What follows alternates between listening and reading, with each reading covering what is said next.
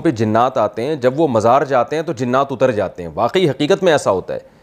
तो लोग ये समझ रहे होते हैं कि बुज़ुर्ग की कब्र पे जाने से बुज़ुर्ग ने ये जिन उतार दिया। हालाँकि हकीकत ये है कि शैतान ने जिन चढ़ाया होता है, या शैतान मुसलत हुआ होता है, उसको पता है कि मज़ार जाएगा ये।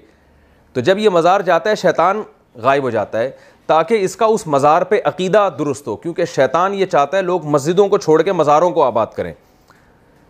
तो इसका इलाज ये नहीं है कि आप मज़ार जाएँ, इसका इलाज है आप शैतान को कहते हैं भाई, तू मुझे जान से भी मार देगा ना, मैं नहीं जाऊँगा मज़ार।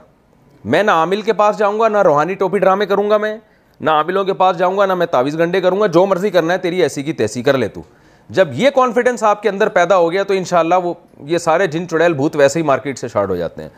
तो इसलिए ये सब चीज़ें उन्हीं लोगों पर आती हैं जो जो इन चीज़ों पर ज़्यादा अकीदा रखते हैं।